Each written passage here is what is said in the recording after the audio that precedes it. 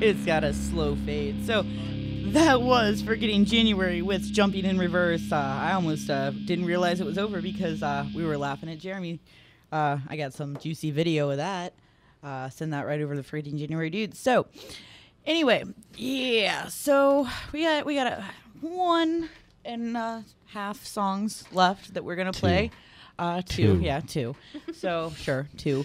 But uh, we, got, we, we got one that we got we got to send out. That was probably the creepiest thing I've ever seen.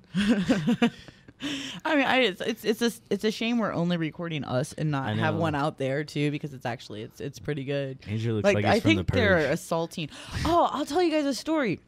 Okay, I'm sorry, I gotta do this though. This is great. So, have you guys been to Fubar, right?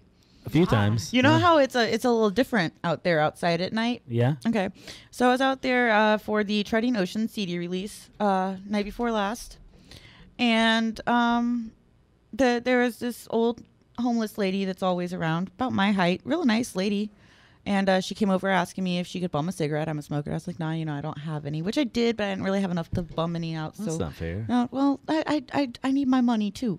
Yeah, but so- you don't know. Or well, okay. really Well, I, karma got me. Let me tell All the story. Okay. Okay. I'm sorry. So she had these Nutri-Grain bars. They were like fruit and nut bars, you know. nice. And she was trying to trade me one for the cigarette, and I That's said, a I, good deal. I know, but I didn't. I wasn't hungry. Why wouldn't you take that? well, I mean, she was a homeless, like you know, lady, and I, I really wasn't hungry, so I, I said no, thank you, you know, and that I didn't have a cigarette, and I was sorry, and I'd get her next time. I'm down there a lot. I know her. I see her. She knew that, so she wandered off, and uh, Colin Reagan, who's he was promoting the show, came out and uh, asked me if he could borrow my lighter for his cigarette. I gave him my lighter, and she comes running back over, full force, shoving the the Nutri-Grain bars at me, and I had earplugs in, so I couldn't really hear what she was saying until. Uh, you know, uh, she got real close, and I was just like, "Ma'am, I'm sorry, I don't have a cigarette. I don't have anything." She's like, "I don't bleep and care what you bleep and have. Just take this, blah blah blah blah." And she and she shoves them in my hand. So I've got my cigarette in one hand and the Nuclear bars in another hand. And she's like, "And here, take this too." And she has something in her fist. I don't know what it is. I can't like I had no hands, so she pulls open my shirt and drops two quarters down the front of my sweatshirt and runs off. Like you're a vending machine. Like I just didn't know what the heck was happening. Colin Reagan was standing there looking at me like he's like, I swear if it went any further, I would I would have done something. And I was like, really? Really? I started cracking up hysterically. It was really funny. Hmm. I don't She's know like, what "Oh, would you do don't have a cigarette?" Situation. She's like, "Catch me outside." How about that? Right? Oh god. How how? you had to throw that in there somewhere. right. Well, I was ge- I was gonna get to it, but uh, uh he got to to it before I'm I sorry. did. So I no. just couldn't resist. I mean, Andrew's well, so if you happy if right you now. if you do need a ticket though for for the for the 18th, February 18th, the sea down swinging, and Yeah. uh and and you want to meet Keith for Yeah. one of those, he'll be at the Firebird tonight. So what do they got to do? Catch me outside. How about that? Right there, you go.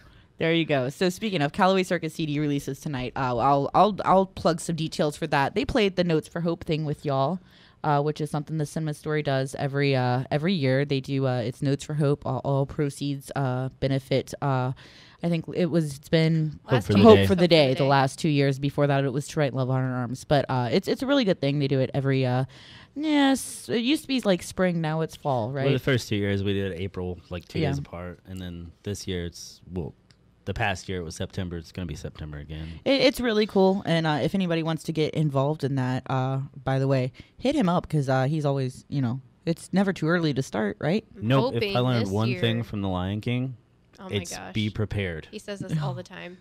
So yeah, lives it's All in never right. too early. people. Yep. what were you So, hit him up. I was gonna say this year for uh, Notes for Hope, I'm gonna try to uh, tie in some some art. Oh, with it. That's super cool. I wanted to do that last year. We kind of ran out of time, and uh, this year we're definitely gonna put something together. Okay. Okay. Well, let me know when that happens, and also like I'll get y'all in here to talk about it. Like we'll do a whole show just for that. Um, Yeah. But these guys played the, this past September, and uh, their CD release show is tonight. Super, super fun, kids, and a really good stage show. This is the title track, which, uh, unless you've bought the album on iTunes, yeah, haven't heard it yet. It's it's great. It's called Teenage Psychopath. We will be back in just a couple minutes.